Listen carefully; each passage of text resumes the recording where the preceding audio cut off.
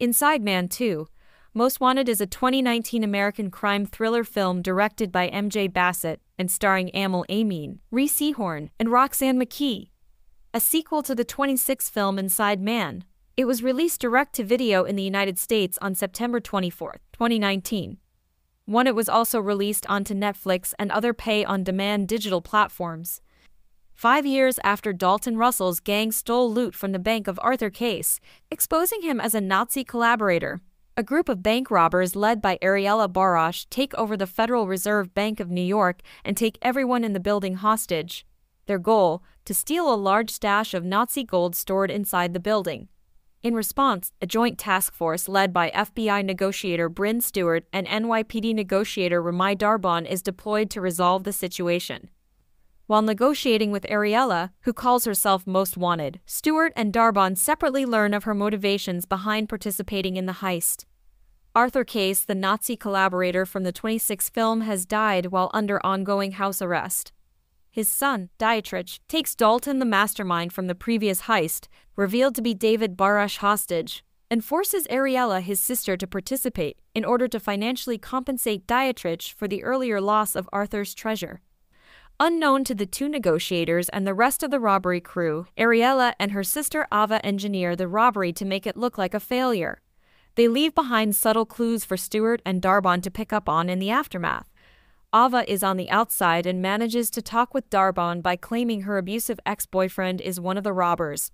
Ariella leaves a family photo revealing their biological relationship to brother David in the safety deposit box. She also leaves Stewart a cell phone to guarantee the arrest of Dietrich and recovery of the stolen gold. Dietrich is arrested by the FBI and the gold is recovered, but not before he can order David's execution. He had been held hostage by Nazis in Berlin. During the aftermath of Dietrich's arrest, Darbon and Stewart speculate on the fates of Ariella and Ava. He states he believes Ariella is alive and that people will die when she learns that her brother is gone. In a mid-credits scene, a disguised Ariella enters a bar in Berlin to shoot Dietrich's men, avenging her brother's death. In November 2006, it was announced that a sequel to Inside Man was in development, with Russell Gewirtz reprising screenwriting duties under the working title Inside Man 2, the film would have Brian Grazer again serve as producer. Spike Lee was in negotiations to reprise his directing duties 3, while serving as an executive producer alongside returning member Daniel M. Rosenberg. 4 in 2008. Terry George was in negotiations to write the screenplay for the sequel. 5. He later replaced Gewirtz, whose screenplay was abandoned. 4. The plot for the sequel was intended to continue after the events of the first film with Dalton Russell played by Clive Owen masterminding another robbery, and again matching wits with NYPD hostage negotiator Keith Frazier Denzel Washington. Five Lee confirmed that Washington, Owen, Jodie Foster, and Chiwetel Ejiofor would all reprise their roles. He also expressed interest in filming Inside Man 2 during the fall of 2009. 4. In 2011, it was announced that plans to make Inside Man 2 had been cancelled, Six Lee confirmed this, expressing that he could not secure funding for the project. Inside Man was my most successful film, but we can't get the sequel made, he said. And one thing Hollywood does well is sequels. The film's not getting made. We tried many times. It's not going to happen. 7. In November 2018, Aml Ameen was cast in the film. 8. Sonia Belousova and Jeanette Ostinelli composed the film's score, Backlot Music released the soundtrack. Ameen was born in London, England, to Jamaican and Vincentian parents. To he studied acting at the Barbara Speake Stage School, an independent school in London. As a child, he appeared in the West End in shows such as Oliver and Jolson. At the age of 11, he performed on stage with Michael Jackson at the 1996 Brit Awards in a performance famously invaded by Pulp singer Jarvis Cocker.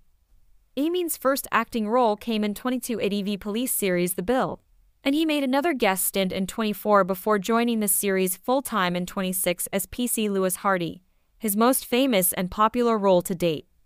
Hardy is a headstrong character who has swapped his life as a street kid to try to make a difference on the right side of the law. He has a few problems with authority and regularly bumps heads with his seniors, most especially frequent beat partner PC Roger Valentine. After Hardy was put undercover and was shot, he was transferred to Operation Trident. Soon after his guest appearance on the bill in 2004, he portrayed the character Terry in Bella and the Boys. 3. He also made one off guest appearances in BBC soap EastEnders and medical drama Holby City. He also starred in the British youth centered film Kidulthood as the central character Trife, while he also appeared in Second Chance and Red Tails for a special appearance. Ameen at Dinard British Film Festival France, 2006. In April 2008, he played a leading role in the BBC three teen drama Disconnected, playing Anthony, an 18 year old college student from London who faces gang trouble on the streets, as well as losing his friend when she commits suicide. 4. Ameen featured in a film on Channel 4 called Fallout, part of their Disarming Britain mini-season. 5. The London Lite paper described this as his most memorable performance. He featured as Age in Silent Witness series 12 parts 1 and 2. He portrayed a youth worker trying to make a difference in a South London community and became friends with Leo, one of the senior pathologists doing community service for drunk driving. In June 2008, Ameen began Actors Student Alliance, a drama school set up to discover and teach untapped talent in London. From its inception, the school produced a short film and a theater showcase for its students. Within its second year, the school expanded into a management company. 6. Ameen performed at the Tricycle Theater on the Not Black and White season in October 2009.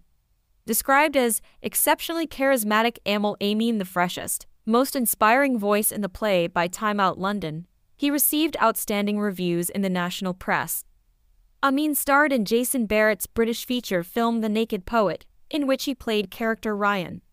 For this performance, he won Best Actor at the VIPF Awards in 2010.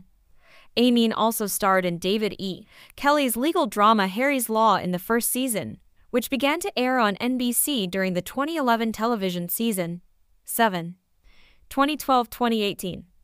Ameen's first Hollywood film role is in George Lucas's Red Tails 2012, about the African American Tuskegee Airmen in World War II. He played Albie in the 2014 film adaptation of the young adult, science fiction, dystopian novel, The Maze Runner. In 2015, Ameen was one of the eight central characters in the initial run of the Netflix series Sense8, produced by the Wachowskis and J. Michael Straczynski. However, conflicts with Lana Wachowski resulted in his abrupt firing and replacement with Toby Onwumere after filming two episodes of the second season in 2016. 89. In 2018, Ameen starred as a young Jamaican named Dee in the film Yardie. 1011 The film was based on Victor Headley's 1992 cult novel of the same name. Actor Idris Elba made his directorial debut with the film in London and Jamaica. 12. 2020 present. Ameen's own debut as a director was announced in November 2020. Boxing Day was released on the 3rd of December 2021, and, as the writer, Ameen used elements from his own life. I kind of draw from inspiration from different moments in my family. My parents got divorced when I was 15, not when I was 28, so I just kind of reconstructed everything a little bit to suit the film and to suit the dramatic purposes. But a lot of the characters are based on my real sister, my real father, Winnie 314, the film stars Ameen, Aja Naomi King, Leigh-Anne Pinnock in her film debut, Marianne Jean Baptiste, Stephen Dillane, and Martina Laird. Boxing Day received mixed reviews. 151 in 617, he also played the role of Tom in the podcast The Left Right Game. She's also a two time winner of the Satellite Award for Best Supporting Actress Series, miniseries, or television film for her role as Wexler in addition to receiving three Screen Actors Guild Award and three Critics' Choice Television Award nominations. Deborah Rhea Seehorn was born in Norfolk, Virginia, one on May 12, 1972. 23 to 45, her mother was an executive assistant for the United States Navy. While her father was an agent in the Naval Investigative Service, she also has a sister. Her family moved frequently during her childhood, living in Washington, D.C., in Arizona, as well as in Japan. 26 following in the footsteps of her father and grandmother, she studied painting, drawing, and architecture from a young age. 7 She continued pursuing the visual arts, but had a growing passion for acting and was introduced to contemporary theater in college. While in college, Seehorn was looking to get into theater after the encouragement of her acting teacher. She worked many ancillary positions in the theater industry in DC to try to get noticed. She ended up getting some major roles in local theater productions, but still needed to take odd jobs to help make ends meet. She took roles in various industrial short instructional films. Too, she soon started getting parts in more television productions, often playing roles that she considered as very wry, sarcastic, knowing women, similar to her idol Bea Arthur. Two, however, most of these roles were short run series cancelled after one or two seasons. Two among her early roles was the lead in a pilot for an American version of the Argentine telenovela La Lola, about a womanizing executive who gets turned female through witchcraft as revenge for his treatment of women, entitled Eva Adams, and was filmed for the Fox network co starring James Van Der Beek in 2009. It was envisioned as a dramedy, in the vein of How Yo Soy Betty, La Fea, which was adapted for American audiences as Ugly Betty, but La Lola wasn't picked up for a regular series.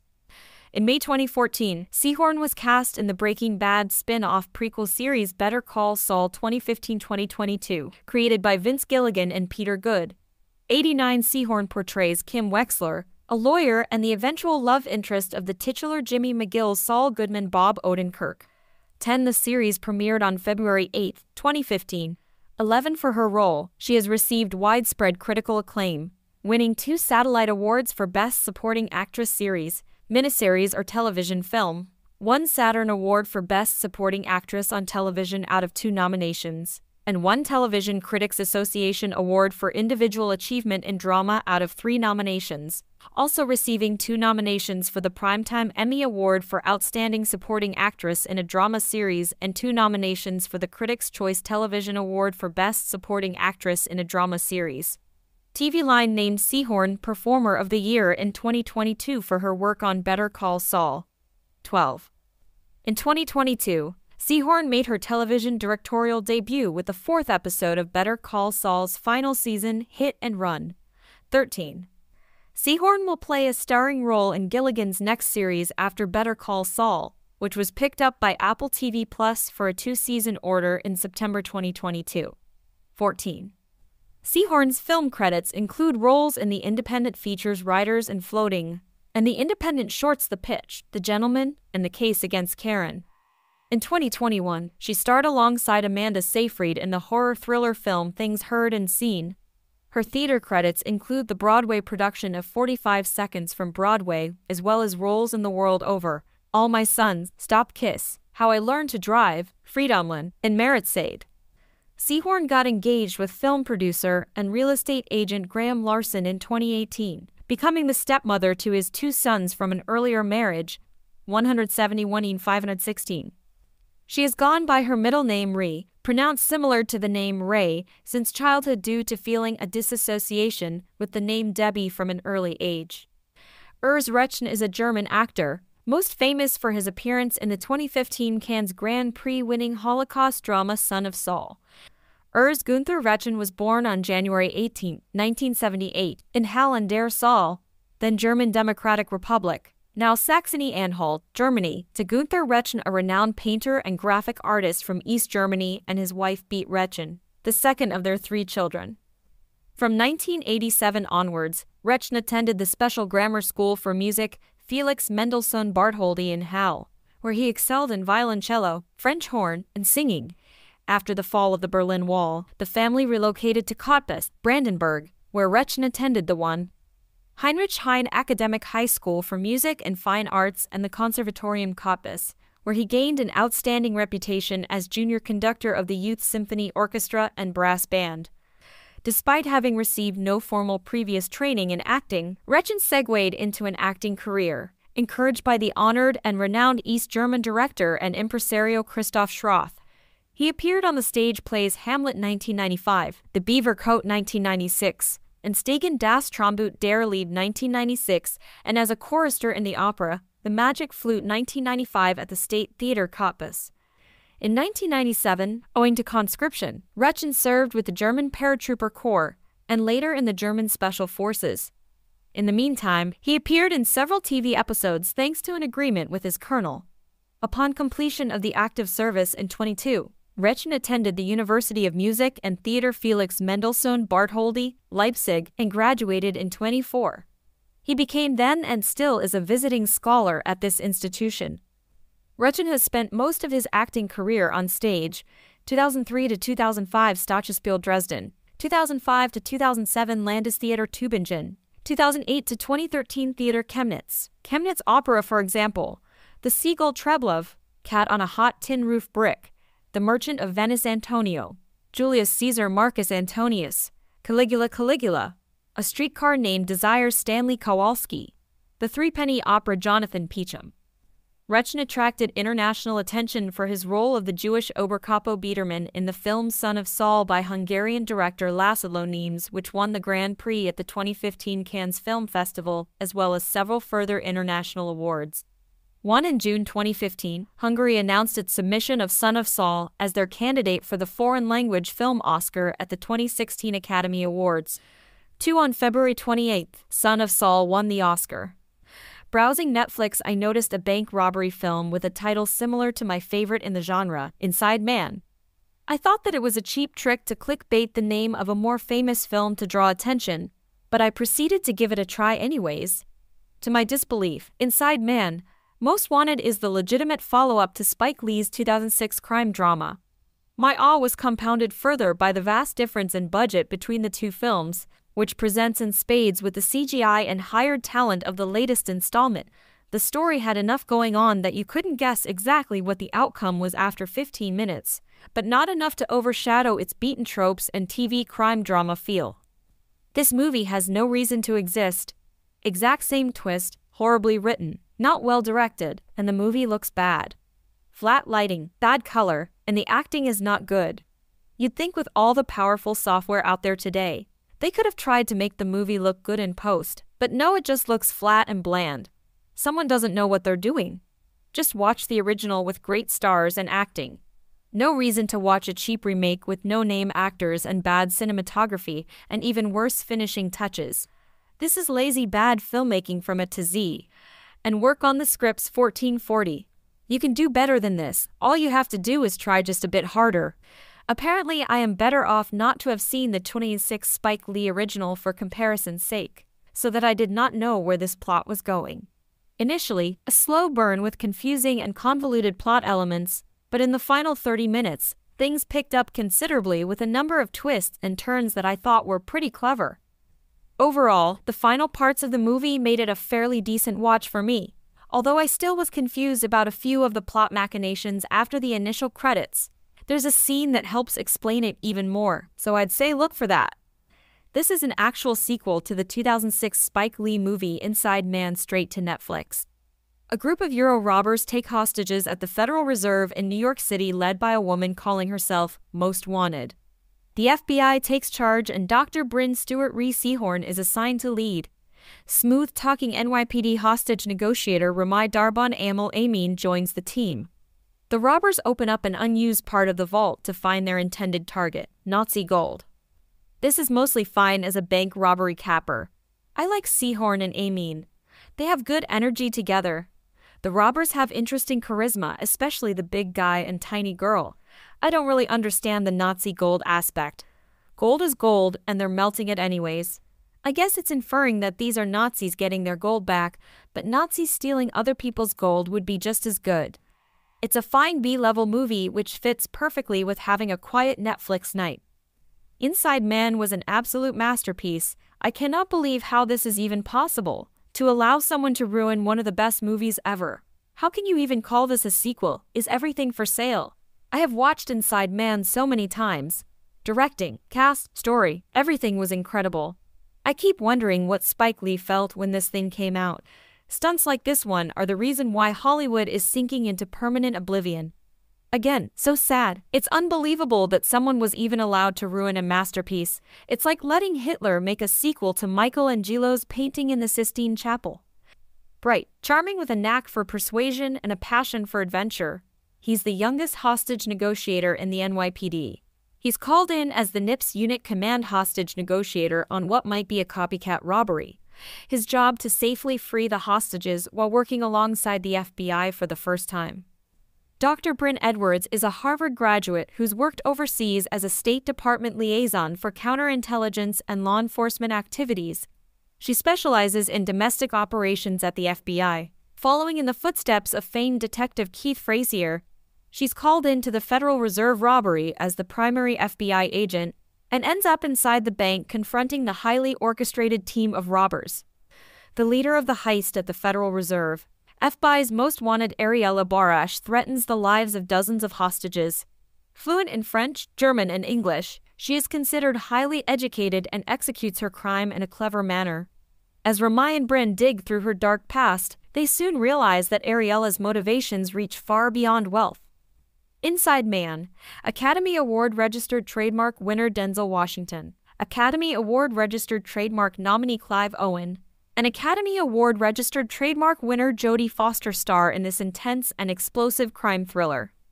The perfect bank robbery quickly spirals into an unstable and deadly game of cat and mouse between a criminal mastermind Owen, a determined detective Washington, and a power broker with a hidden agenda Foster. As the minutes tick by and the situation becomes increasingly tense, one wrong move could mean disaster for any one of them. From acclaimed director Spike Lee comes the edge of your seat, action packed thriller that the Wall Street Journal calls a heist film that's right on the money. Inside Man, Most Wanted, a suspenseful heist thriller starring Aml Ameen the Maze Runner and Rhea Seehorn Better Call Saul. Inside Man, Most Wanted is a gripping game of cat and mouse that will keep you guessing until the very end. An NYPD hostage negotiator Ameen forms an unlikely team with an FBI agent Seehorn to save hostages in a skillfully orchestrated copycat crime at the Federal Reserve Bank, led by a ruthlessly cunning bank robber Roxanne McKee. With time working against them and innocent lives on the line, they must put their professional differences aside before they get trapped in a twisted web of lies. Find your nearest pitchfork and wave it in the air as I make this stunning admission. Inside Man is not only my first Denzel Washington film, but it's also my first Spike Lee joint as well. Tough look for me, but it's never too late to amend for my cinema sins. The way Denzel has been described by cinephiles falls into what I would refer to as the DiCaprio rule, which many would call the Denzel rule.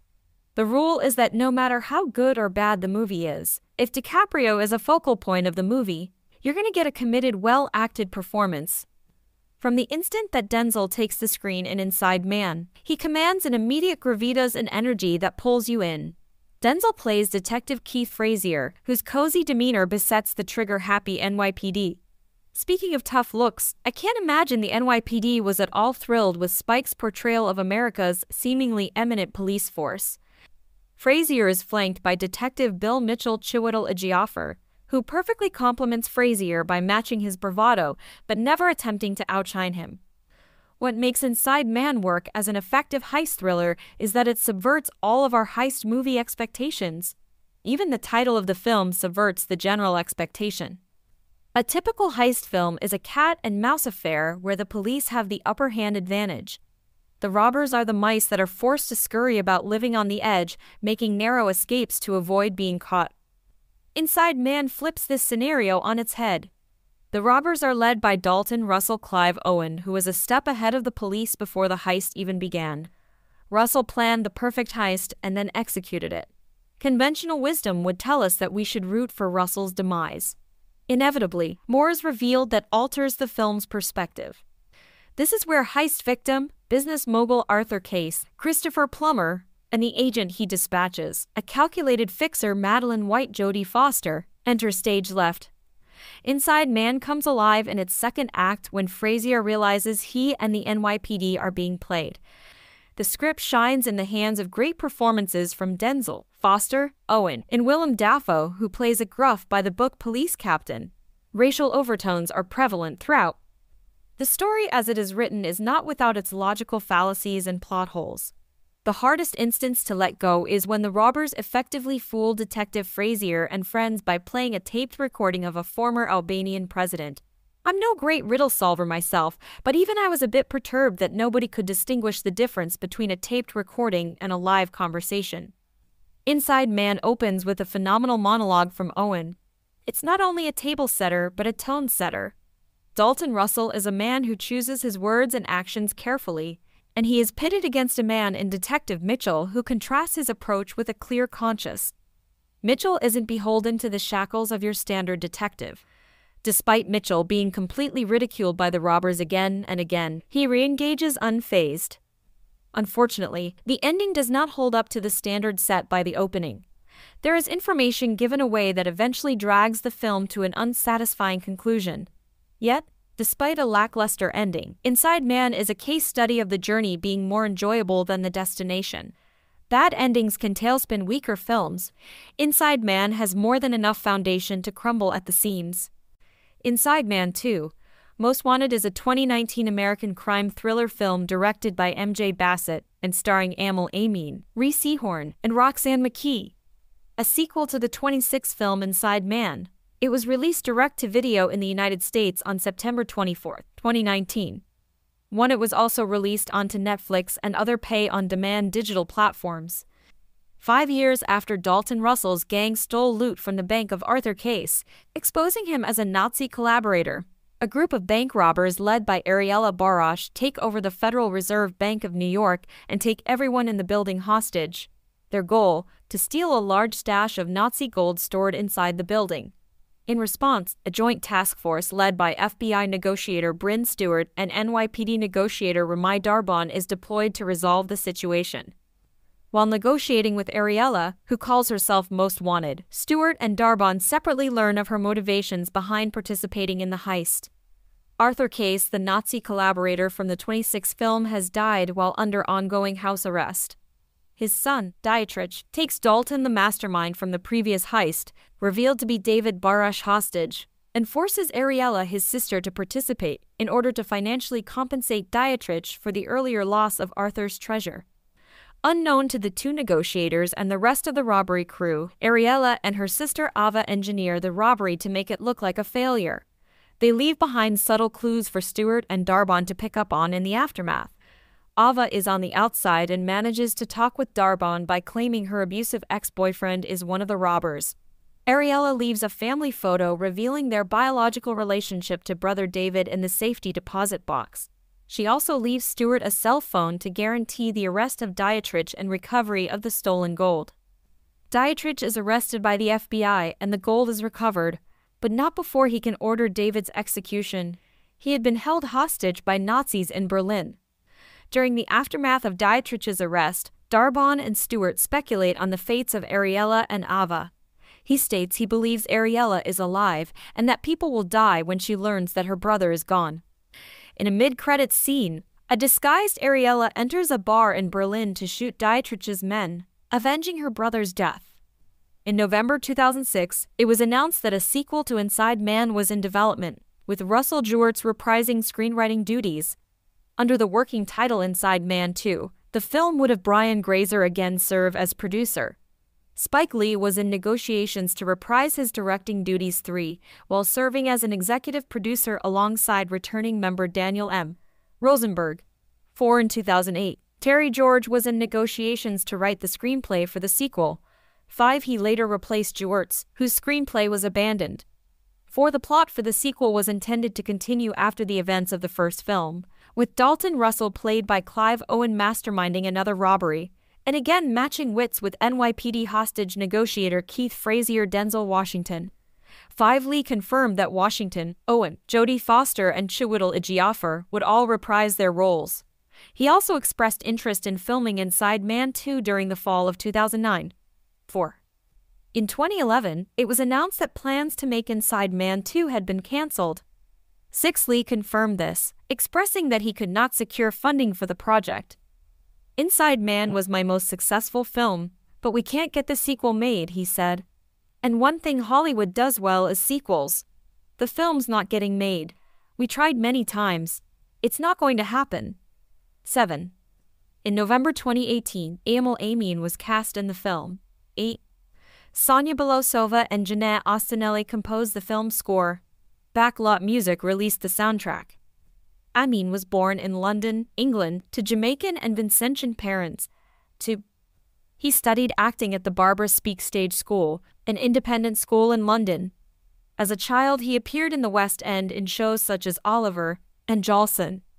At the age of 11, he performed on stage with Michael Jackson at the 1996 Brit Awards in a performance famously invaded by pulp singer Jarvis Cocker. Ameen's first acting role came in 22 ITV police series The Bill, and he made another guest stint in 24 before joining the series full-time in 26 as PC Lewis Hardy, his most famous and popular role to date. Hardy is a headstrong character who has swapped his life as a street kid to try to make a difference on the right side of the law. He has a few problems with authority and regularly bumps heads with his seniors, most especially frequent beat partner PC Roger Valentine. After Hardy was put undercover and was shot, he was transferred to Operation Trident. Soon after his guest appearance on The Bill in 2004, he portrayed the character Terry in Bella and the Boys. 3. He also made one off guest appearances in BBC soap EastEnders and medical drama Holby City. He also starred in the British youth centered film Kidulthood as the central character Trife while he also appeared in Second Chance and Red Tails for a special appearance. Ameen at Dinard British Film Festival France, 2006. In April 2008, he played a leading role in the BBC three-teen drama Disconnected, playing Anthony, an 18-year-old college student from London who faces gang trouble on the streets, as well as losing his friend when she commits suicide. 4. Ameen featured in a film on Channel 4 called Fallout, part of their Disarming Britain mini-season. 5. The London Lite paper described this as his most memorable performance. He featured as Age in Silent Witness series 12 parts 1 and 2.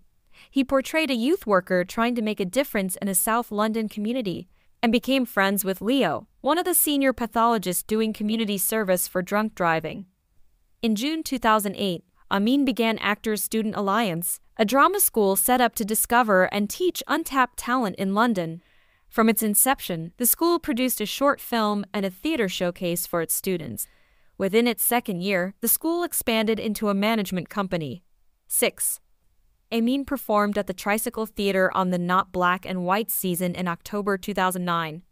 Described as exceptionally charismatic Aml Ameen the freshest, most inspiring voice in the play by Time Out London, he received outstanding reviews in the national press. Ameen starred in Jason Barrett's British feature film The Naked Poet, in which he played character Ryan. For this performance, he won Best Actor at the VIPF Awards in 2010.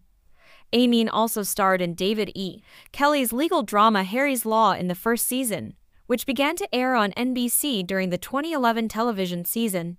7. 2012-2018. Ameen's first Hollywood film role is in George Lucas's Red Tails 2012, about the African-American Tuskegee Airmen in World War II. He played Albie in the 2014 film adaptation of the young adult, science fiction, dystopian novel, The Maze Runner. In 2015, Ameen was one of the eight central characters in the initial run of the Netflix series Sense8, produced by the Wachowskis and J. Michael Straczynski. However, conflicts with Lana Wachowski resulted in his abrupt firing and replacement with Toby Onwumere after filming two episodes of the second season in 2016. 89. In 2018, Ameen starred as a young Jamaican named Dee in the film Yardie.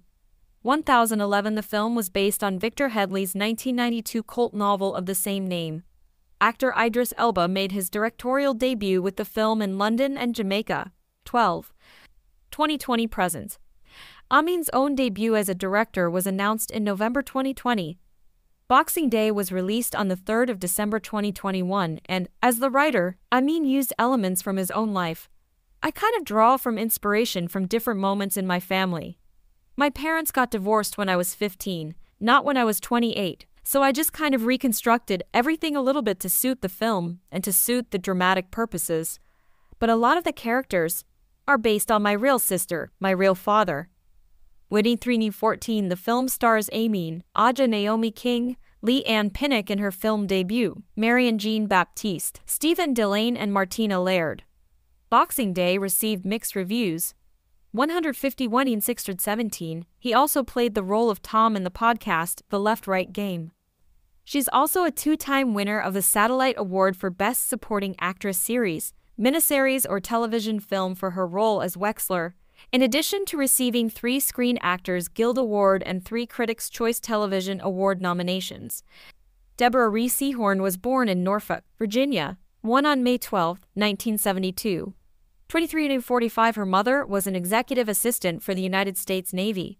While her father was an agent in the Naval Investigative Service, she also has a sister, Her family moved frequently during her childhood, living in Washington, D.C., in Arizona, as well as in Japan. 26 Following in the footsteps of her father and grandmother, she studied painting, drawing, and architecture from a young age. 7 She continued pursuing the visual arts, but had a growing passion for acting and was introduced to contemporary theater in college. While in college, Seehorn was looking to get into theater after the encouragement of her acting teacher. She worked many ancillary positions in the theater industry in DC to try to get noticed. She ended up getting some major roles in local theater productions, but still needed to take odd jobs to help make ends meet. She took roles in various industrial short instructional films. Too, she soon started getting parts in more television productions, often playing roles that she considered as very wry, sarcastic, knowing women, similar to her idol Bea Arthur. Two, however, most of these roles were short run series cancelled after one or two seasons. Two among her early roles was the lead in a pilot for an American version of the Argentine telenovela La Lola, about a womanizing executive who gets turned female through witchcraft as revenge for his treatment of women, entitled Eva Adams, and was filmed for the Fox network co starring James Van Der Beek in 2009. It was envisioned as a dramedy, in the vein of How Yo Soy Betty, La Fea, which was adapted for American audiences as Ugly Betty, but La Lola wasn't picked up for a regular series. In May 2014, Seehorn was cast in the Breaking Bad spin off prequel series Better Call Saul 2015 2022, created by Vince Gilligan and Peter Gould. 89 Seehorn portrays Kim Wexler, a lawyer and the eventual love interest of the titular Jimmy McGill Saul Goodman Bob Odenkirk. 10 The series premiered on February 8, 2015.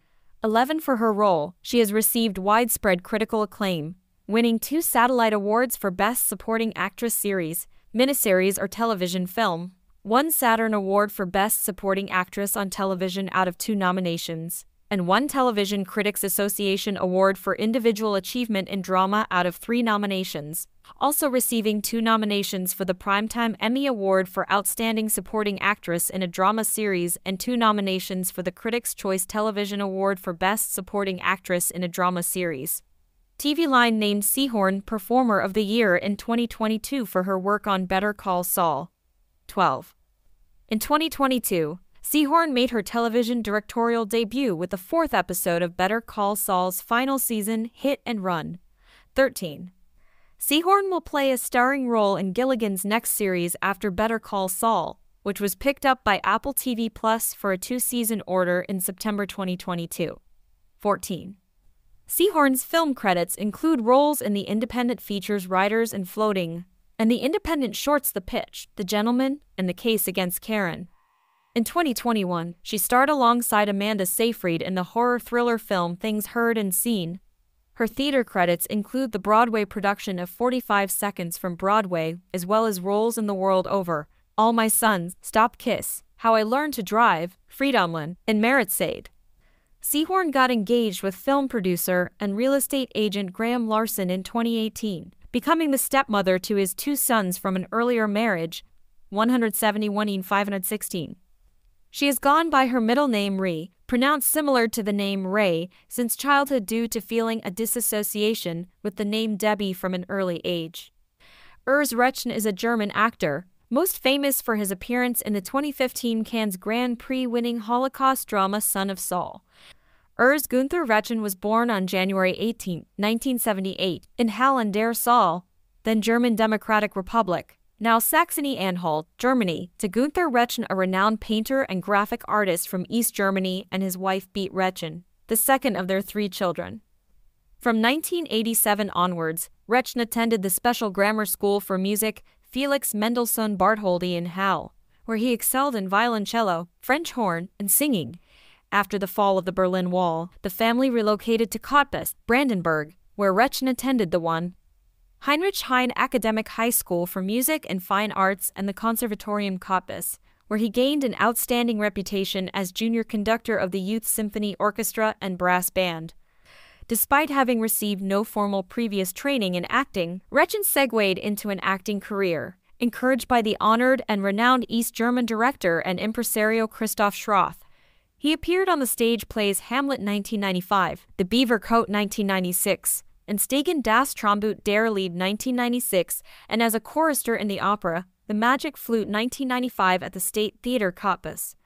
In 1997, owing to conscription, Rechn served with the German Paratrooper Corps and later in the German Special Forces. In the meantime, he appeared in several TV episodes thanks to an agreement with his colonel. Upon completion of the active service in 22, Rechn attended the University of Music and Theatre Felix Mendelssohn Bartholdy, Leipzig, and graduated in 24. He became then and still is a visiting scholar at this institution.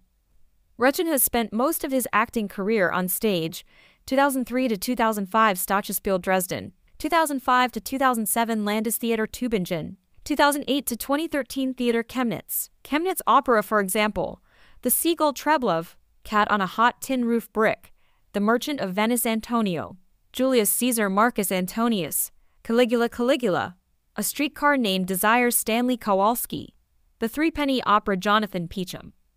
Rechn attracted international attention for his role of the Jewish Oberkapo Biederman in the film Son of Saul by Hungarian director Laszlo Nemes, which won the Grand Prix at the 2015 Cannes Film Festival, as well as several further international awards. One in June 2015, Hungary announced its submission of Son of Saul as their candidate for the Foreign Language Film Oscar at the 2016 Academy Awards. Two on February 28, Son of Saul won the Oscar. Browsing Netflix, I noticed a bank robbery film with a title similar to my favorite in the genre, Inside Man.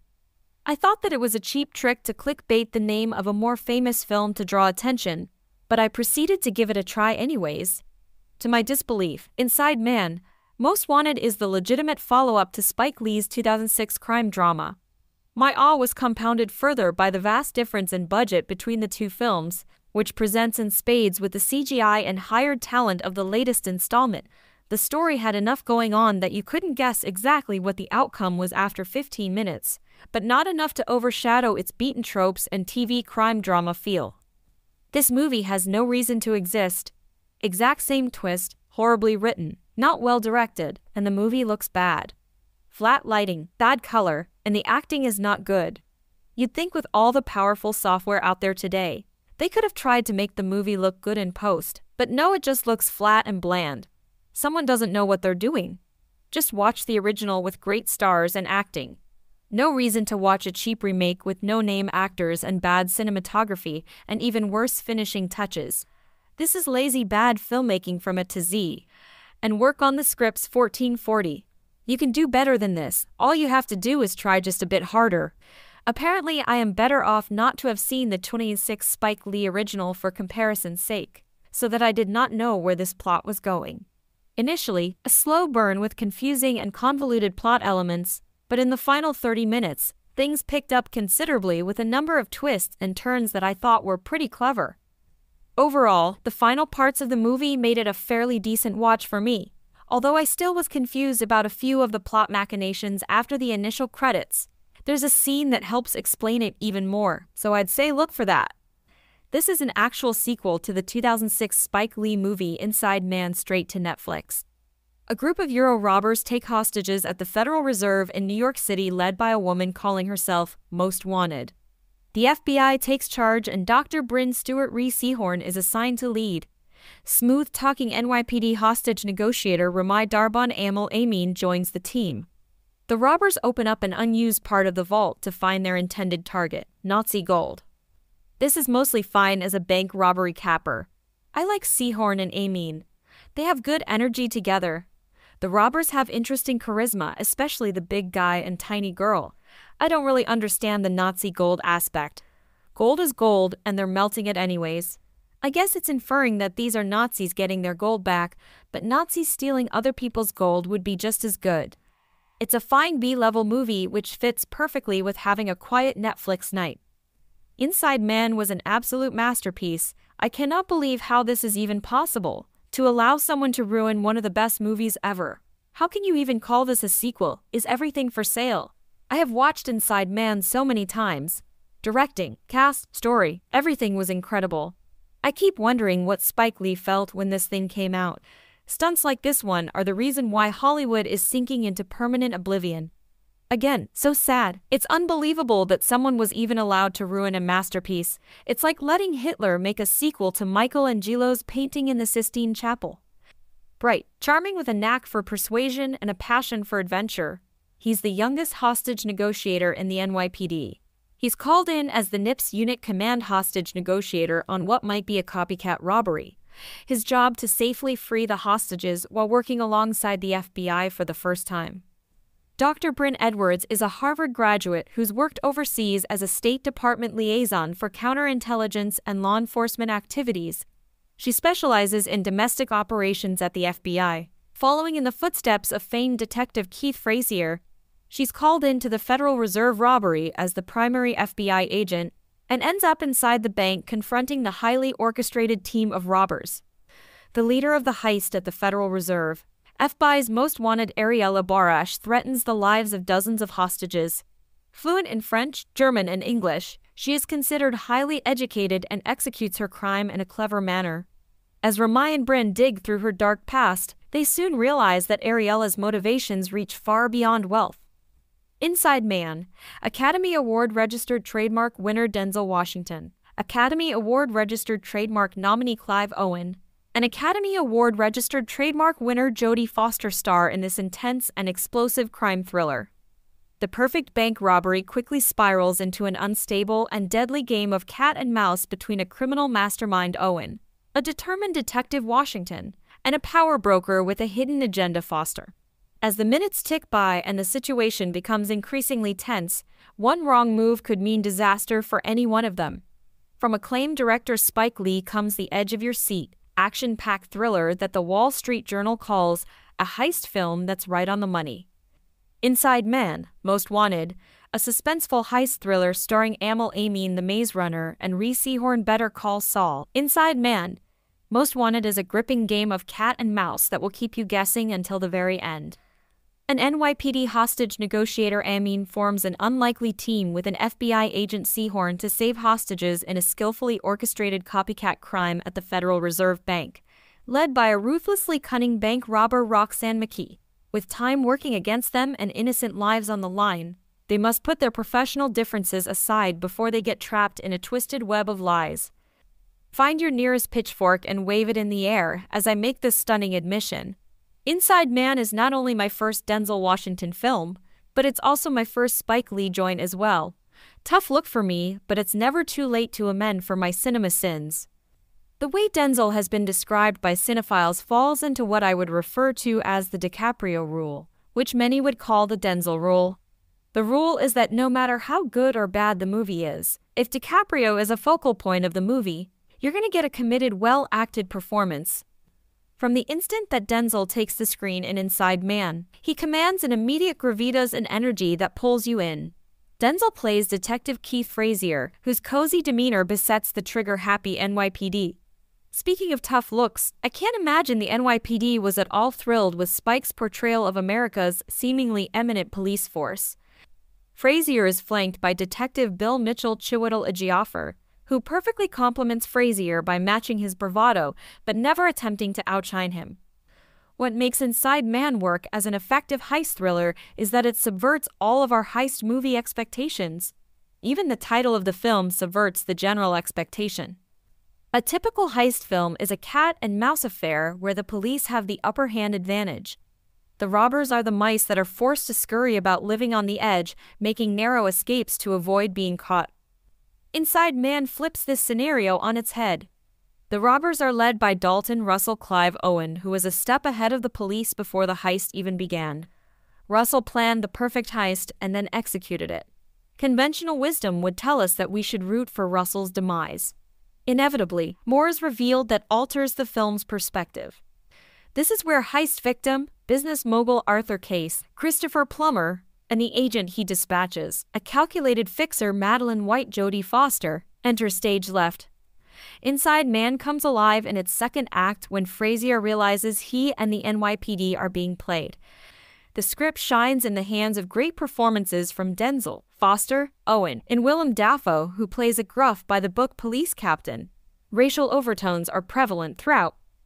The story as it is written is not without its logical fallacies and plot holes. The hardest instance to let go is when the robbers effectively fool Detective Frazier and friends by playing a taped recording of a former Albanian president. I'm no great riddle solver myself, but even I was a bit perturbed that nobody could distinguish the difference between a taped recording and a live conversation. Inside Man opens with a phenomenal monologue from Owen. It's not only a table setter, but a tone setter. Dalton Russell is a man who chooses his words and actions carefully, and he is pitted against a man in Detective Mitchell who contrasts his approach with a clear conscience. Mitchell isn't beholden to the shackles of your standard detective. Despite Mitchell being completely ridiculed by the robbers again and again, he re-engages unfazed. Unfortunately, the ending does not hold up to the standard set by the opening. There is information given away that eventually drags the film to an unsatisfying conclusion. Yet, Despite a lackluster ending, Inside Man is a case study of the journey being more enjoyable than the destination. Bad endings can tailspin weaker films. Inside Man has more than enough foundation to crumble at the seams. Inside Man 2, Most Wanted is a 2019 American crime thriller film directed by MJ Bassett and starring Aml Ameen, Rhea Seehorn, and Roxanne McKee. A sequel to the 26th film Inside Man, it was released direct to video in the United States on September 24, 2019. One, it was also released onto Netflix and other pay on demand digital platforms. Five years after Dalton Russell's gang stole loot from the bank of Arthur Case, exposing him as a Nazi collaborator, a group of bank robbers led by Ariella Barash take over the Federal Reserve Bank of New York and take everyone in the building hostage. Their goal, to steal a large stash of Nazi gold stored inside the building. In response, a joint task force led by FBI negotiator Bryn Stewart and NYPD negotiator Ramai Darbonne is deployed to resolve the situation. While negotiating with Ariella, who calls herself most wanted, Stewart and Darbonne separately learn of her motivations behind participating in the heist. Arthur Case, the Nazi collaborator from the 26 film, has died while under ongoing house arrest. His son, Dietrich, takes Dalton the mastermind from the previous heist, revealed to be David Barash hostage, and forces Ariella, his sister, to participate in order to financially compensate Dietrich for the earlier loss of Arthur's treasure. Unknown to the two negotiators and the rest of the robbery crew, Ariella and her sister Ava engineer the robbery to make it look like a failure. They leave behind subtle clues for Stewart and Darbonne to pick up on in the aftermath. Ava is on the outside and manages to talk with Darbonne by claiming her abusive ex-boyfriend is one of the robbers. Ariella leaves a family photo revealing their biological relationship to brother David in the safety deposit box. She also leaves Stewart a cell phone to guarantee the arrest of Dietrich and recovery of the stolen gold. Dietrich is arrested by the FBI and the gold is recovered, but not before he can order David's execution. He had been held hostage by Nazis in Berlin. During the aftermath of Dietrich's arrest, Darbonne and Stewart speculate on the fates of Ariella and Ava. He states he believes Ariella is alive and that people will die when she learns that her brother is gone. In a mid-credits scene, a disguised Ariella enters a bar in Berlin to shoot Dietrich's men, avenging her brother's death. In November 2006, it was announced that a sequel to Inside Man was in development, with Russell Gewirtz reprising screenwriting duties under the working title Inside Man 2, the film would have Brian Grazer again serve as producer. Spike Lee was in negotiations to reprise his directing duties 3 while serving as an executive producer alongside returning member Daniel M. Rosenberg. 4 in 2008, Terry George was in negotiations to write the screenplay for the sequel. 5 He later replaced Gewirtz, whose screenplay was abandoned. 4 The plot for the sequel was intended to continue after the events of the first film with Dalton Russell played by Clive Owen masterminding another robbery, and again matching wits with NYPD hostage negotiator Keith Frazier Denzel Washington. Five Lee confirmed that Washington, Owen, Jodie Foster, and Chiwetel Ejiofor would all reprise their roles. He also expressed interest in filming Inside Man 2 during the fall of 2009. 4. In 2011, it was announced that plans to make Inside Man 2 had been cancelled. Six Lee confirmed this, expressing that he could not secure funding for the project. Inside Man was my most successful film, but we can't get the sequel made, he said. And one thing Hollywood does well is sequels. The film's not getting made. We tried many times. It's not going to happen. 7. In November 2018, Aml Ameen was cast in the film. 8. Sonia Belousova and Jeanette Ostinelli composed the film's score. Backlot Music released the soundtrack. Ameen was born in London, England, to Jamaican and Vincentian parents. To he studied acting at the Barbara Speake Stage School, an independent school in London. As a child, he appeared in the West End in shows such as Oliver and Jolson. At the age of 11, he performed on stage with Michael Jackson at the 1996 Brit Awards in a performance famously invaded by Pulp singer Jarvis Cocker. Ameen's first acting role came in 22 police series The Bill, and he made another guest stint in 24 before joining the series full time in 26 as PC Lewis Hardy, his most famous and popular role to date. Hardy is a headstrong character who has swapped his life as a street kid to try to make a difference on the right side of the law. He has a few problems with authority and regularly bumps heads with his seniors, most especially frequent beat partner PC Roger Valentine. After Hardy was put undercover and was shot, he was transferred to Operation Trident. Soon after his guest appearance on The Bill in 2004, he portrayed the character Terry in Bella and the Boys. 3. He also made one off guest appearances in BBC soap EastEnders and medical drama Holby City. He also starred in the British youth centered film Kidulthood as the central character Trife, while he also appeared in Second Chance and Red Tails for a special appearance. Ameen at Dinard British Film Festival France, 2006. In April 2008, he played a leading role in the BBC three teen drama Disconnected, playing Anthony, an 18 year old college student from London who faces gang trouble on the streets, as well as losing his friend when she commits suicide. 4. Ameen featured in a film on Channel 4 called Fallout, part of their Disarming Britain mini-season. 5. The London Lite Paper described this as his most memorable performance. He featured as Age in Silent Witness series 12 parts 1 and 2. He portrayed a youth worker trying to make a difference in a South London community and became friends with Leo, one of the senior pathologists doing community service for drunk driving. In June 2008, Ameen began Actors Student Alliance, a drama school set up to discover and teach untapped talent in London. From its inception, the school produced a short film and a theater showcase for its students. Within its second year, the school expanded into a management company. 6. Ameen performed at the Tricycle Theater on the Not Black and White season in October 2009. Described as exceptionally charismatic Aml Ameen the freshest, most inspiring voice in the play by Time Out London, he received outstanding reviews in the national press. Ameen starred in Jason Barrett's British feature film The Naked Poet, in which he played character Ryan. For this performance, he won Best Actor at the VIPF Awards in 2010. Ameen also starred in David E. Kelley's legal drama Harry's Law in the first season, which began to air on NBC during the 2011 television season. 7. 2012 2018. Ameen's first Hollywood film role is in George Lucas's Red Tails 2012, about the African American Tuskegee Airmen in World War II. He played Albie in the 2014 film adaptation of the young adult, science fiction, dystopian novel, The Maze Runner. In 2015, Ameen was one of the eight central characters in the initial run of the Netflix series Sense 8, produced by the Wachowskis and J. Michael Straczynski. However, conflicts with Lana Wachowski resulted in his abrupt firing and replacement with Toby Onwumere after filming two episodes of the second season in 2016. 89. In 2018, Ameen starred as a young Jamaican named Dee in the film Yardie. 1011 The film was based on Victor Headley's 1992 cult novel of the same name. Actor Idris Elba made his directorial debut with the film in London and Jamaica. 12. 2020 present. Ameen's own debut as a director was announced in November 2020.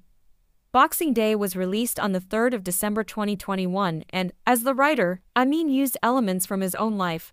I kind of draw from inspiration from different moments in my family. My parents got divorced when I was 15, not when I was 28, so I just kind of reconstructed everything a little bit to suit the film and to suit the dramatic purposes. But a lot of the characters are based on my real sister, my real father, Winnie 314, the film stars Ameen, Aja Naomi King, Leigh-Anne Pinnock in her film debut, Marianne Jean Baptiste, Stephen Dillane, and Martina Laird. Boxing Day received mixed reviews. 151 in 617, he also played the role of Tom in the podcast The Left Right Game. She's also a two time winner of the Satellite Award for Best Supporting Actress Series, miniseries, or television film for her role as Wexler, in addition to receiving three Screen Actors Guild Award and three Critics' Choice Television Award nominations. Deborah Rhea Seehorn was born in Norfolk, Virginia, one on May 12, 1972. 23 to 45, her mother was an executive assistant for the United States Navy. While her father was an agent in the Naval Investigative Service, she also has a sister. Her family moved frequently during her childhood, living in Washington, D.C., in Arizona, as well as in Japan. 26 Following in the footsteps of her father and grandmother, she studied painting, drawing, and architecture from a young age. 7 She continued pursuing the visual arts, but had a growing passion for acting and was introduced to contemporary theater in college. While in college, Seehorn was looking to get into theater after the encouragement of her acting teacher. She worked many ancillary positions in the theater industry in DC to try to get noticed. She ended up getting some major roles in local theater productions, but still needed to take odd jobs to help make ends meet. She took roles in various industrial short instructional films.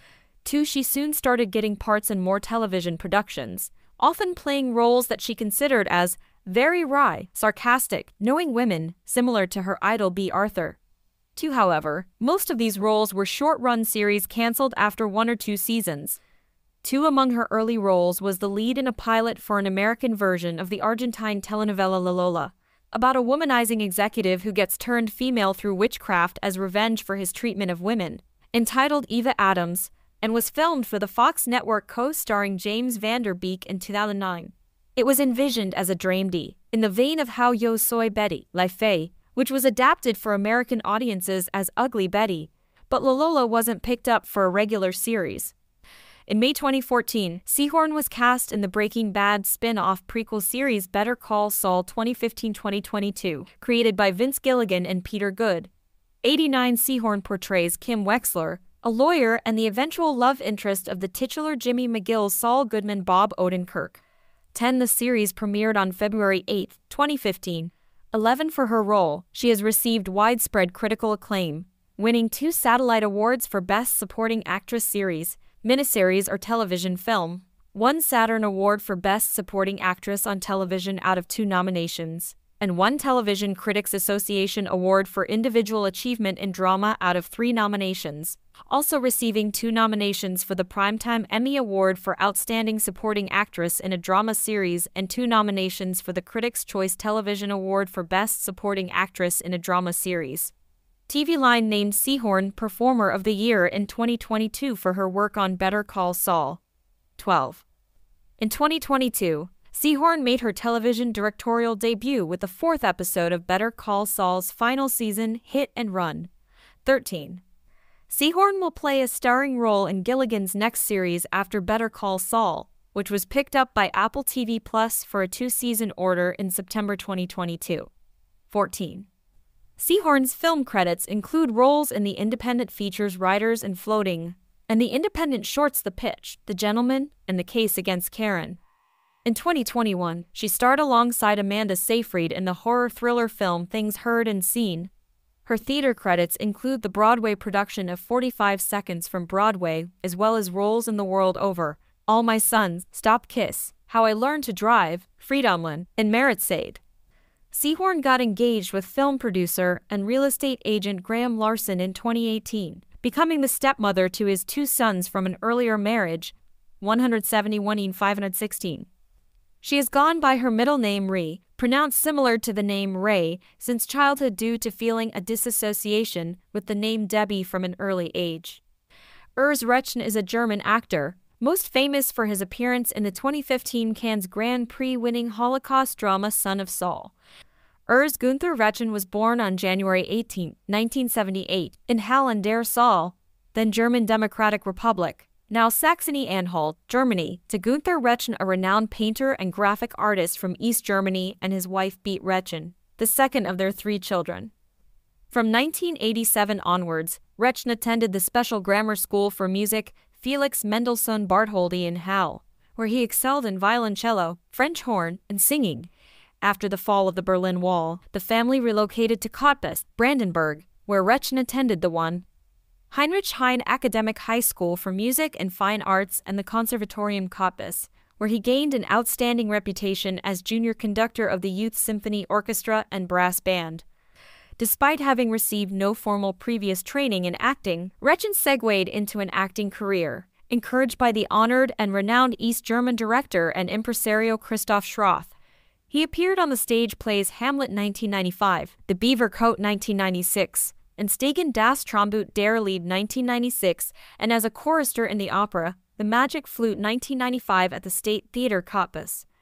In 1997, owing to conscription, Rechn served with the German Paratrooper Corps and later in the German Special Forces.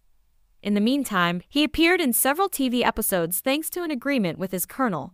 Upon completion of the active service in 22, Rechn attended the University of Music and Theatre Felix Mendelssohn Bartholdy, Leipzig, and graduated in 24. He became then and still is a visiting scholar at this institution. Rechn has spent most of his acting career on stage. 2003 to 2005 Staatsschauspiel Dresden, 2005 to 2007 Landestheater Tübingen, 2008 to 2013 Theater Chemnitz, Chemnitz Opera, for example, The Seagull Treplev, Cat on a Hot Tin Roof Brick, The Merchant of Venice Antonio, Julius Caesar Marcus Antonius, Caligula Caligula, A Streetcar Named Desire Stanley Kowalski, The Threepenny Opera Jonathan Peacham.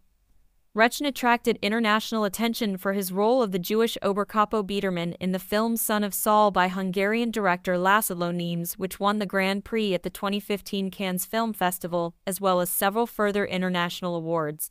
One in June 2015, Hungary announced its submission of Son of Saul as their candidate for the Foreign Language Film Oscar at the 2016 Academy Awards. Two on February 28, Son of Saul won the Oscar. Browsing Netflix, I noticed a bank robbery film with a title similar to my favorite in the genre, Inside Man. I thought that it was a cheap trick to clickbait the name of a more famous film to draw attention, but I proceeded to give it a try anyways. To my disbelief, Inside Man, Most Wanted is the legitimate follow up to Spike Lee's 2006 crime drama. My awe was compounded further by the vast difference in budget between the two films, which presents in spades with the CGI and hired talent of the latest installment. The story had enough going on that you couldn't guess exactly what the outcome was after 15 minutes, but not enough to overshadow its beaten tropes and TV crime drama feel. This movie has no reason to exist. Exact same twist, horribly written, not well directed, and the movie looks bad. Flat lighting, bad color, and the acting is not good. You'd think with all the powerful software out there today, they could have tried to make the movie look good in post, but no, it just looks flat and bland. Someone doesn't know what they're doing. Just watch the original with great stars and acting. No reason to watch a cheap remake with no name actors and bad cinematography and even worse finishing touches. This is lazy bad filmmaking from A to Z. And work on the scripts 1440. You can do better than this. All you have to do is try just a bit harder. Apparently, I am better off not to have seen the 26 Spike Lee original for comparison's sake, so that I did not know where this plot was going. Initially, a slow burn with confusing and convoluted plot elements, but in the final 30 minutes, things picked up considerably with a number of twists and turns that I thought were pretty clever. Overall, the final parts of the movie made it a fairly decent watch for me, although I still was confused about a few of the plot machinations after the initial credits, there's a scene that helps explain it even more, so I'd say look for that. This is an actual sequel to the 2006 Spike Lee movie Inside Man straight to Netflix. A group of Euro robbers take hostages at the Federal Reserve in New York City led by a woman calling herself Most Wanted. The FBI takes charge and Dr. Bryn Stewart Rhea Seehorn is assigned to lead. Smooth-talking NYPD hostage negotiator Ramai Darbonne Aml Ameen joins the team. The robbers open up an unused part of the vault to find their intended target, Nazi gold. This is mostly fine as a bank robbery capper. I like Seehorn and Ameen. They have good energy together. The robbers have interesting charisma, especially the big guy and tiny girl. I don't really understand the Nazi gold aspect. Gold is gold, and they're melting it anyways. I guess it's inferring that these are Nazis getting their gold back, but Nazis stealing other people's gold would be just as good. It's a fine B level movie which fits perfectly with having a quiet Netflix night. Inside Man was an absolute masterpiece. I cannot believe how this is even possible. To allow someone to ruin one of the best movies ever. How can you even call this a sequel? Is everything for sale? I have watched Inside Man so many times. Directing, cast, story, everything was incredible. I keep wondering what Spike Lee felt when this thing came out. Stunts like this one are the reason why Hollywood is sinking into permanent oblivion. Again, so sad. It's unbelievable that someone was even allowed to ruin a masterpiece. It's like letting Hitler make a sequel to Michelangelo's painting in the Sistine Chapel. Bright, charming with a knack for persuasion and a passion for adventure, he's the youngest hostage negotiator in the NYPD. He's called in as the NIPS unit command hostage negotiator on what might be a copycat robbery. His job to safely free the hostages while working alongside the FBI for the first time. Dr. Bryn Edwards is a Harvard graduate who's worked overseas as a State Department liaison for counterintelligence and law enforcement activities. She specializes in domestic operations at the FBI. Following in the footsteps of famed detective Keith Frazier, she's called in to the Federal Reserve robbery as the primary FBI agent and ends up inside the bank confronting the highly orchestrated team of robbers. The leader of the heist at the Federal Reserve, FBI's most wanted Ariella Barash threatens the lives of dozens of hostages. Fluent in French, German, and English, she is considered highly educated and executes her crime in a clever manner. As Ramai and Bryn dig through her dark past, they soon realize that Ariella's motivations reach far beyond wealth.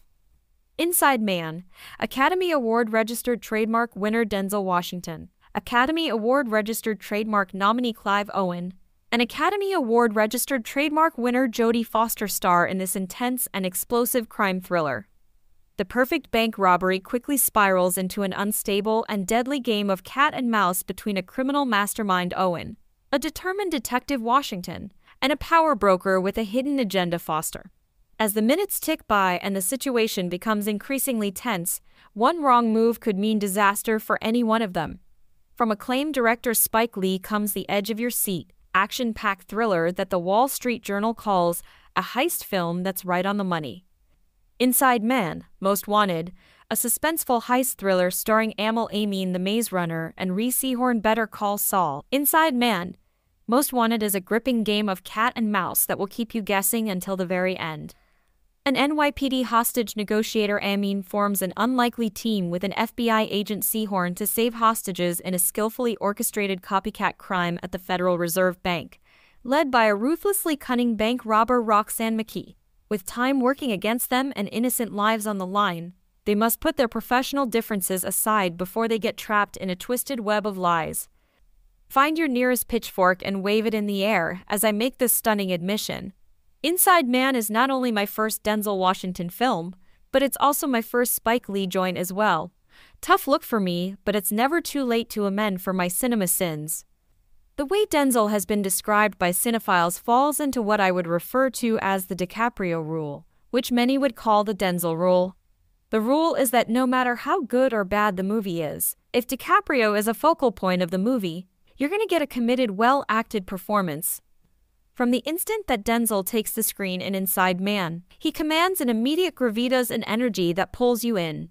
Denzel plays Detective Keith Frazier, whose cozy demeanor besets the trigger happy NYPD. Speaking of tough looks, I can't imagine the NYPD was at all thrilled with Spike's portrayal of America's seemingly eminent police force.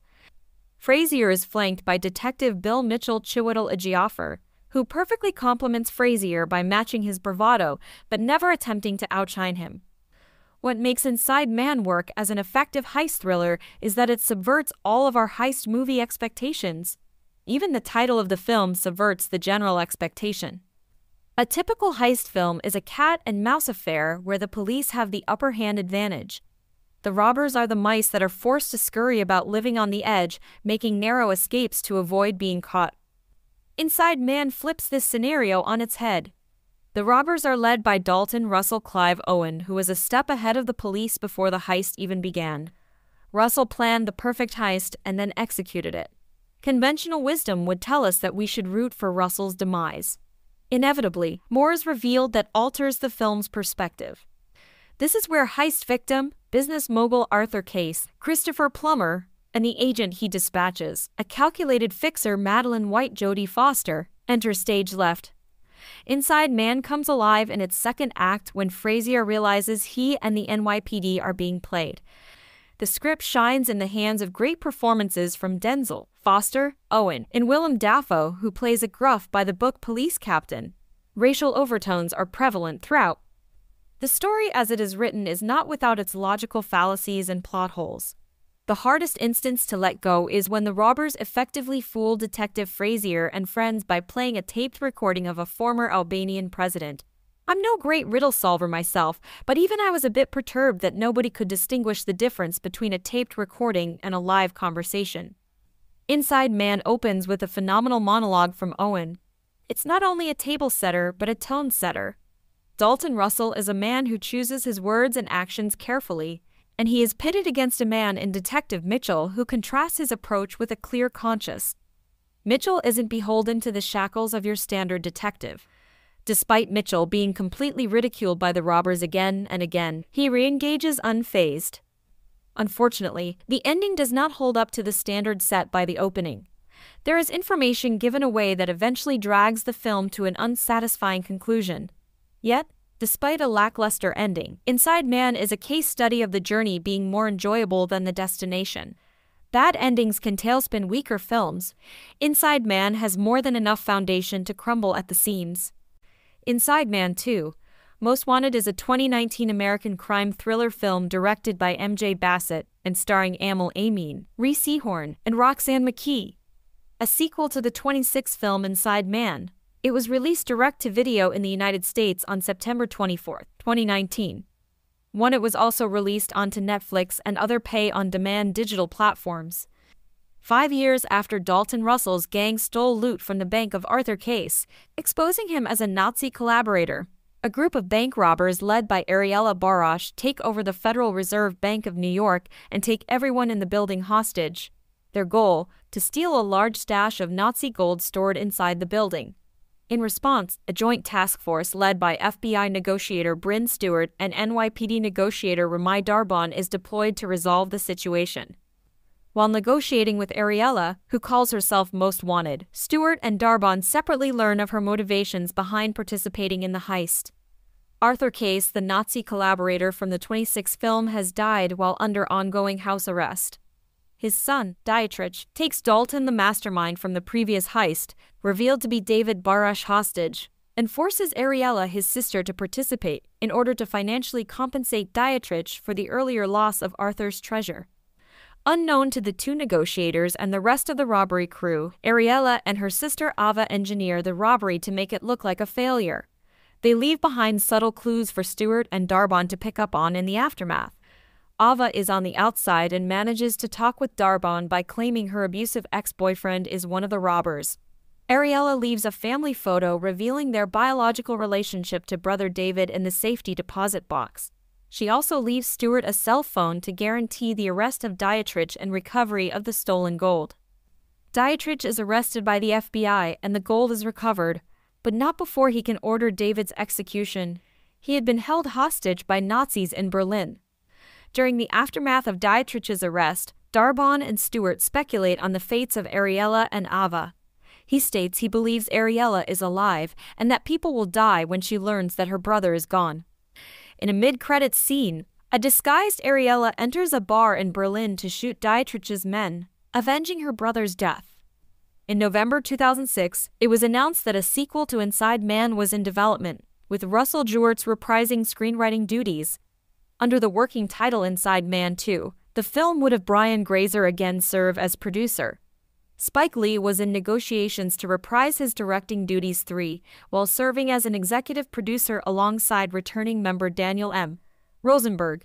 4 in 2008. Terry George was in negotiations to write the screenplay for the sequel. 5. He later replaced Gewirtz, whose screenplay was abandoned. 4. The plot for the sequel was intended to continue after the events of the first film with Dalton Russell played by Clive Owen masterminding another robbery, and again matching wits with NYPD hostage negotiator Keith Frazier Denzel Washington. 5 Lee confirmed that Washington, Owen, Jodie Foster, and Chiwetel Ejiofor would all reprise their roles. He also expressed interest in filming Inside Man 2 during the fall of 2009. 4. In 2011, it was announced that plans to make Inside Man 2 had been cancelled. 6 Lee confirmed this, expressing that he could not secure funding for the project. Inside Man was my most successful film, but we can't get the sequel made, he said. And one thing Hollywood does well is sequels. The film's not getting made. We tried many times. It's not going to happen. 7. In November 2018, Aml Ameen was cast in the film. 8. Sonia Belousova and Janette Ostinelli composed the film's score. Backlot Music released the soundtrack. Ameen was born in London, England, to Jamaican and Vincentian parents. To he studied acting at the Barbara Speake Stage School, an independent school in London. As a child, he appeared in the West End in shows such as Oliver and Jolson. At the age of 11, he performed on stage with Michael Jackson at the 1996 Brit Awards in a performance famously invaded by pulp singer Jarvis Cocker. Ameen's first acting role came in 22 police series The Bill, and he made another guest stint in 24 before joining the series full-time in 26 as PC Lewis Hardy, his most famous and popular role to date. Hardy is a headstrong character who has swapped his life as a street kid to try to make a difference on the right side of the law.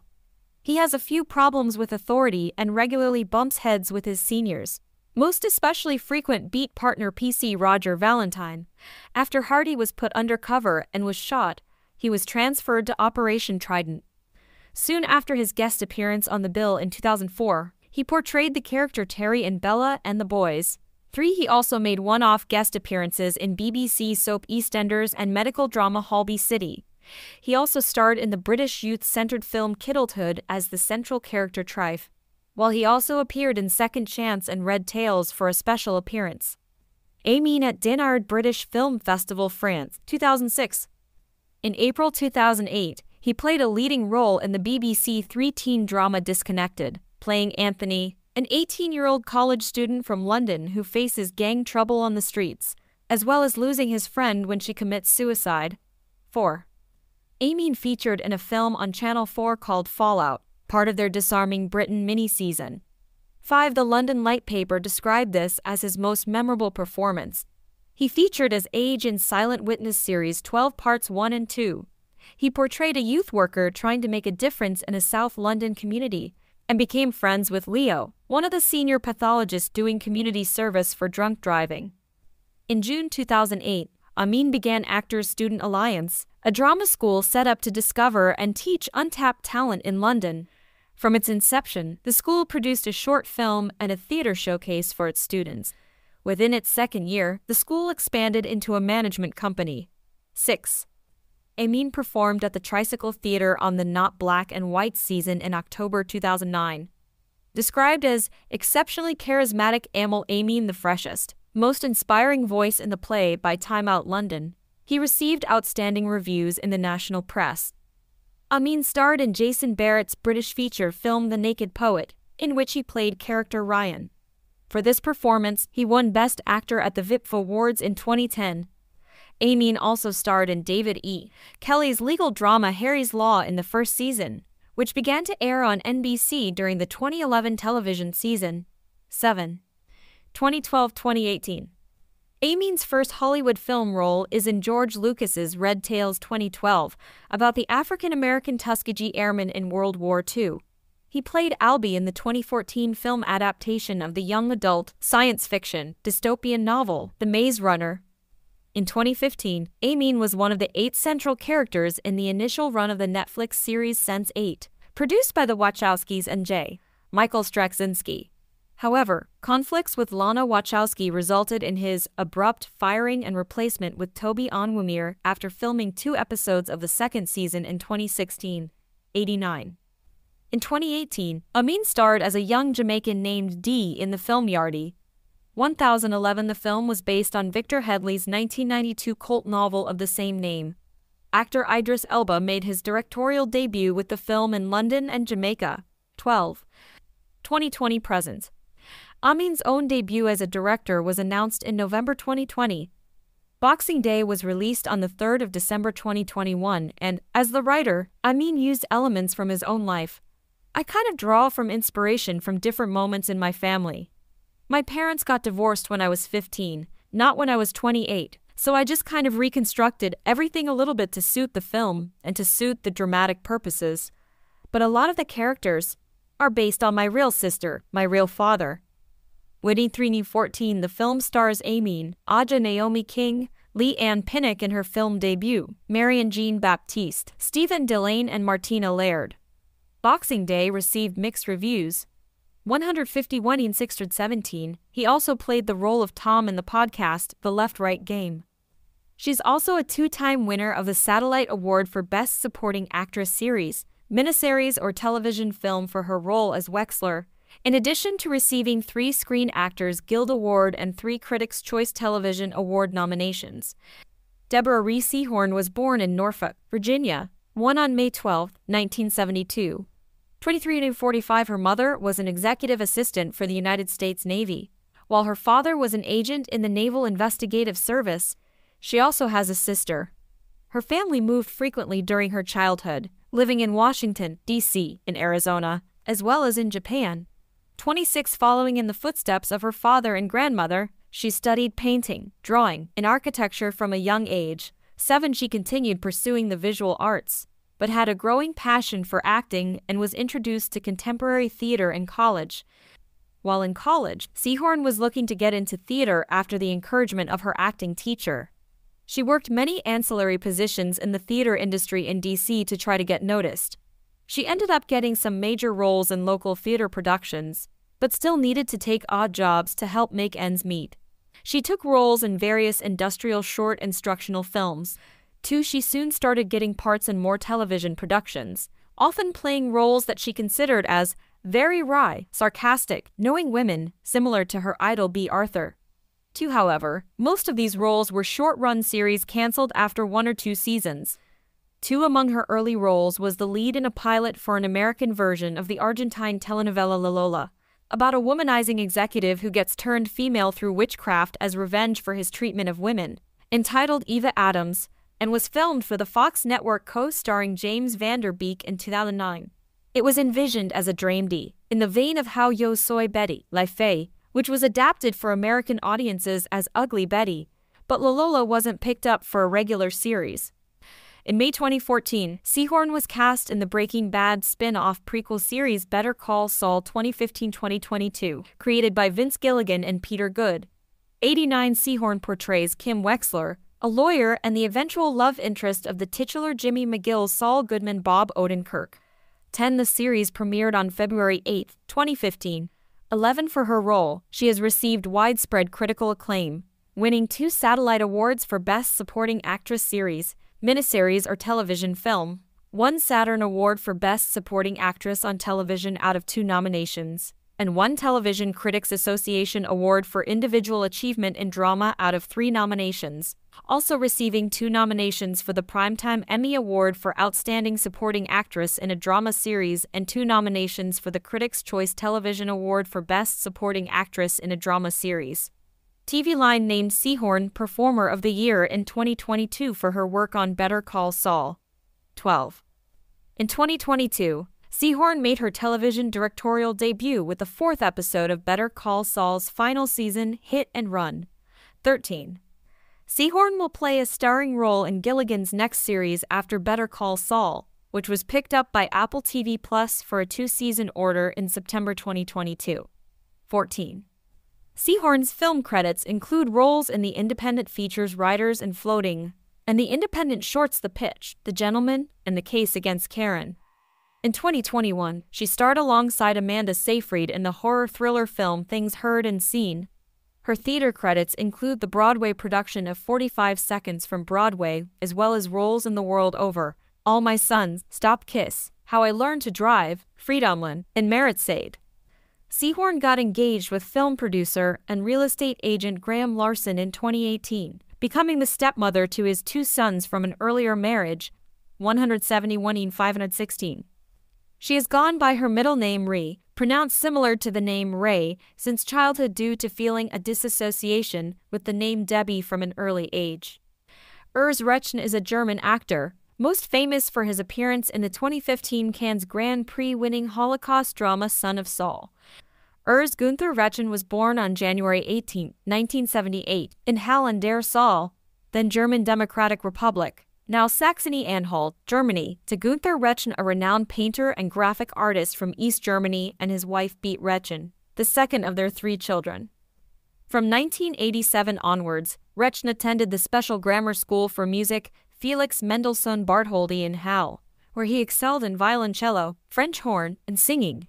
After the fall of the Berlin Wall, the family relocated to Cottbus, Brandenburg, where Rechn attended the one Heinrich Heine Academic High School for Music and Fine Arts and the Conservatorium Cottbus, where he gained an outstanding reputation as junior conductor of the Youth Symphony Orchestra and Brass Band. Despite having received no formal previous training in acting, Rechn segued into an acting career, encouraged by the honored and renowned East German director and impresario Christoph Schroth. He appeared on the stage plays Hamlet 1995, The Beaver Coat 1996, and Stegen das Tromboot der Lied 1996, and as a chorister in the opera, The Magic Flute 1995 at the State Theatre Cottbus. In 1997, owing to conscription, Rechn served with the German Paratrooper Corps and later in the German Special Forces. In the meantime, he appeared in several TV episodes thanks to an agreement with his colonel. Upon completion of the active service in 22, Rechn attended the University of Music and Theatre Felix Mendelssohn Bartholdy, Leipzig, and graduated in 24. He became then and still is a visiting scholar at this institution. Rechn has spent most of his acting career on stage 2003 to 2005 Staatsschauspiel Dresden, 2005 to 2007 Landestheater Tübingen, 2008 to 2013 Theater Chemnitz, Chemnitz Opera for example, The Seagull Treplev, Cat on a Hot Tin Roof Brick, the Merchant of Venice Antonio, Julius Caesar Marcus Antonius, Caligula Caligula, A Streetcar Named Desire Stanley Kowalski, The Threepenny Opera Jonathan Peacham.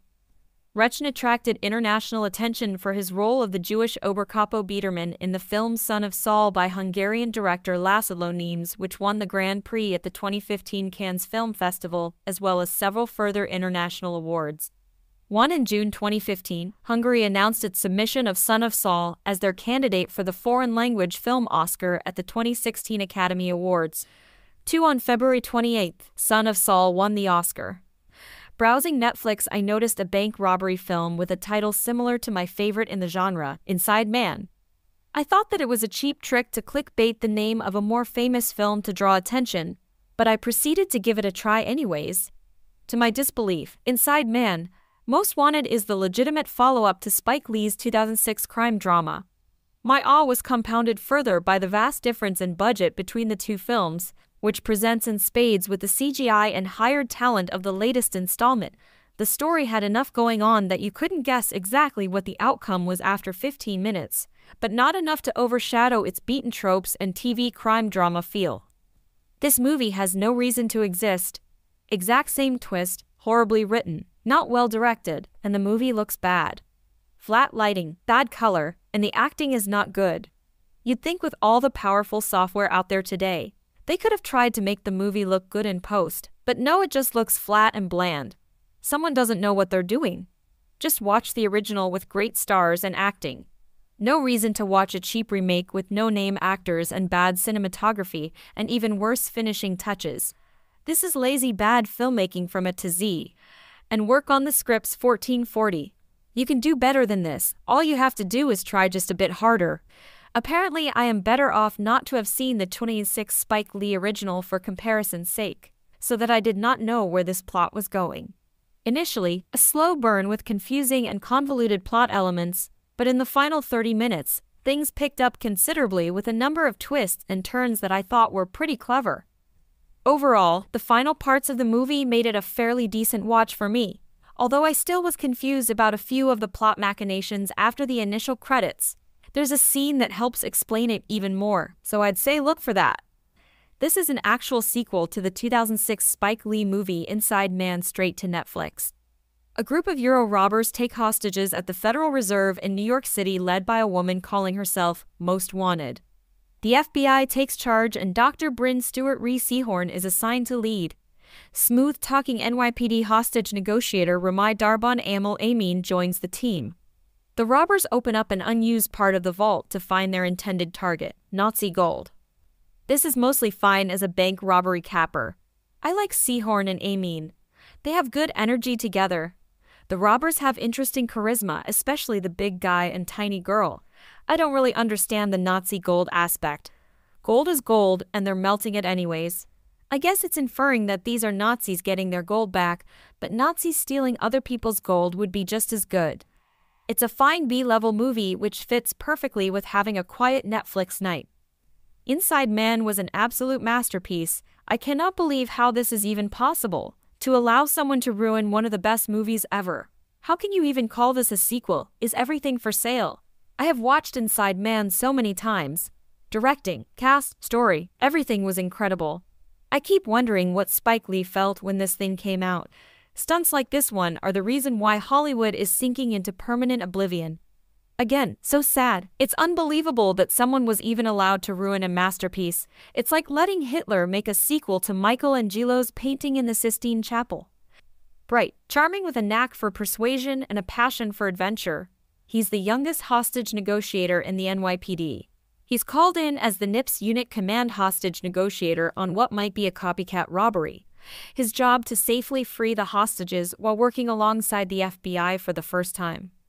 Dr. Bryn Edwards is a Harvard graduate who's worked overseas as a State Department liaison for counterintelligence and law enforcement activities.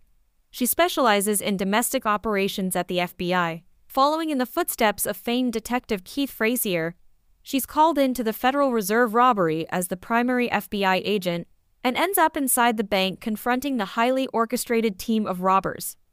The leader of the heist at the Federal Reserve, FBI's most wanted Ariella Barash threatens the lives of dozens of hostages. Fluent in French, German, and English, she is considered highly educated and executes her crime in a clever manner. As Remy and Bryn dig through her dark past, they soon realize that Ariella's motivations reach far beyond wealth. Inside Man, Academy Award registered trademark winner Denzel Washington, Academy Award registered trademark nominee Clive Owen, an Academy Award registered trademark winner Jodie Foster star in this intense and explosive crime thriller. The perfect bank robbery quickly spirals into an unstable and deadly game of cat and mouse between a criminal mastermind Owen, a determined detective Washington, and a power broker with a hidden agenda Foster. As the minutes tick by and the situation becomes increasingly tense, one wrong move could mean disaster for any one of them. From acclaimed director Spike Lee comes the edge of your seat, action packed thriller that the Wall Street Journal calls a heist film that's right on the money. Inside Man, Most Wanted, a suspenseful heist thriller starring Aml Ameen, the Maze Runner, and Rhea Seehorn Better Call Saul. Inside Man, Most Wanted is a gripping game of cat and mouse that will keep you guessing until the very end. An NYPD hostage negotiator Ameen forms an unlikely team with an FBI agent Seehorn to save hostages in a skillfully orchestrated copycat crime at the Federal Reserve Bank, led by a ruthlessly cunning bank robber Roxanne McKee. With time working against them and innocent lives on the line, they must put their professional differences aside before they get trapped in a twisted web of lies. Find your nearest pitchfork and wave it in the air as I make this stunning admission. Inside Man is not only my first Denzel Washington film, but it's also my first Spike Lee joint as well. Tough look for me, but it's never too late to amend for my cinema sins. The way Denzel has been described by cinephiles falls into what I would refer to as the DiCaprio rule, which many would call the Denzel rule. The rule is that no matter how good or bad the movie is, if DiCaprio is a focal point of the movie, you're going to get a committed, well acted performance, from the instant that Denzel takes the screen in Inside Man, he commands an immediate gravitas and energy that pulls you in. Denzel plays Detective Keith Frazier, whose cozy demeanor besets the trigger happy NYPD. Speaking of tough looks, I can't imagine the NYPD was at all thrilled with Spike's portrayal of America's seemingly eminent police force. Frazier is flanked by Detective Bill